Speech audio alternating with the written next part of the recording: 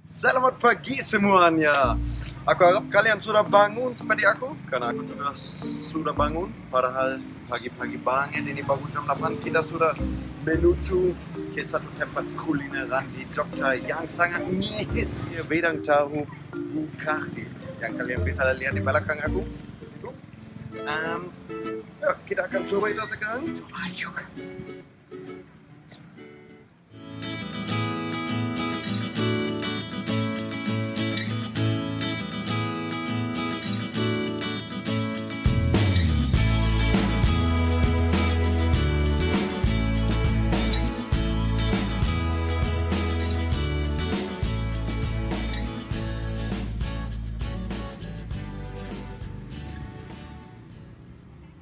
Ini dia akhirnya bidang tahu yang kita mau coba hari ini. Wow, lembut banget, man. Hmm.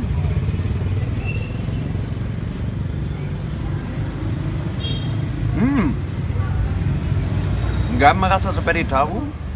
Aku bisa merasakan bidang bidang jahe sebenarnya. Aku coba lagi ya.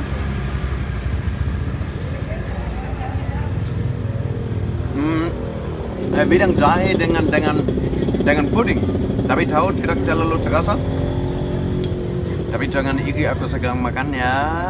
Hmm, pasti kalian juga mau coba ya. Ui, tahu ini yang sangat lembut seperti seperti seperti pantat bayi. Hmm.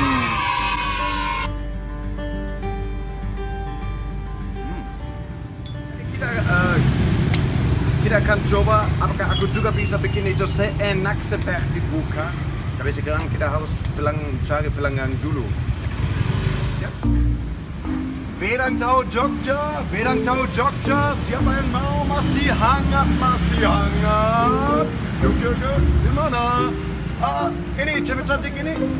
Mbak, mbak. Weh, bangun-bangun ya, masih kelihatan. Uh, Bata-bata ya, gak apa-apa. Satu. Oke, Mbak dari mana? Wow.